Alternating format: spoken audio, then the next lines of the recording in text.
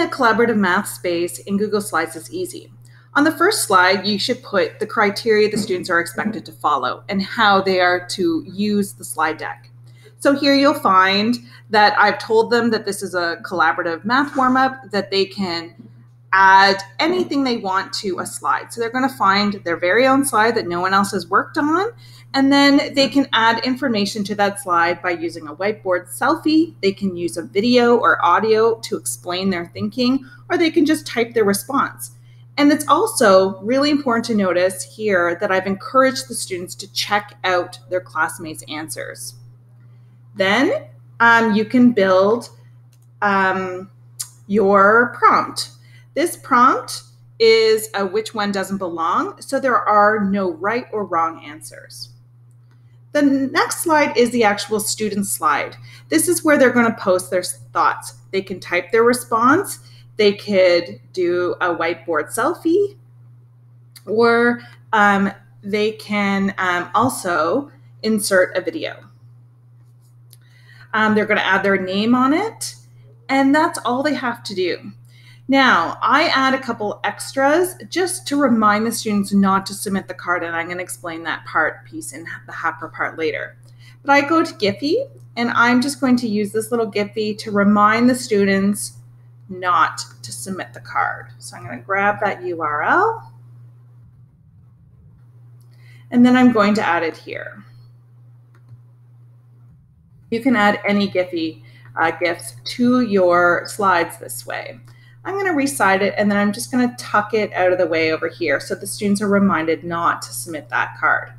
Now I want to provide enough slides for everyone in my class. Here's a quick shortcut. If you press Control D, it will, oops, when you're just here, Control D will actually duplicate the card. So I'm going to do that a whole bunch of times so there's enough slides in the deck for all of my students. And that's how you make a collaborative uh, math space in Google Slides. Um, I would recommend using low floor, high ceiling tasks like this one. There's no right or wrong answer. Or you could use uh, kind of a math fight um, version, which is, you know, they have to choose a side and defend their choice. Turning your collaborative Google Slide into a collaborative work environment is very easy in Hapara Workspace. First, go to students and groups and make sure your entire class is added as one into one group. Go back to your workspace. And then scroll down to where you would like to add your collaborative task. Press the plus sign. I think it's really important here to add a header card so the students will know that it is a collaborative task. I have all mine kept here in my Google Drive. So I've selected my header card so the students will know that it's a math warm-up.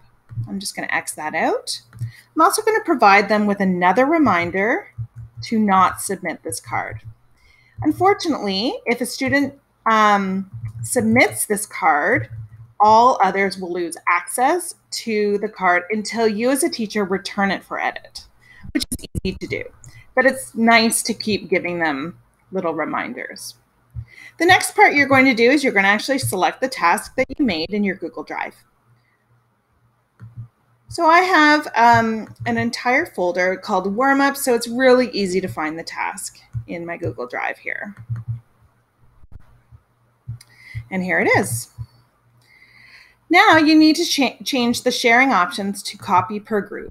Once that is done, um, you want to select which group. So I just want this whole class group to have a copy of this. And now I'm done. You could give them a scheduled start date and a due date, but at this time I'm not going to do that. Here is the collaborative card. I am just going to change the color just so it looks a little nicer. Now the students have group access to this one slide deck. It won't be making them an individual copy of this. All they have to do now is scroll through, select a blank card, and write their name on it. They can also take a look at other people's work, and they can also be giving them feedback. So, for example, let's pretend somebody has given feedback, uh, has posted their work here. You could teach your students how to use the comments thread to actually post what they like about it. You could write, wow, oops, wow, what a cool way to show your thinking. So you as the teacher could do this or the student. And if they use the um, add thing, they can actually, you can assign it to that student. So they will get an email about that comment. So that's how you make a collaborative thinking space in HapperWorks.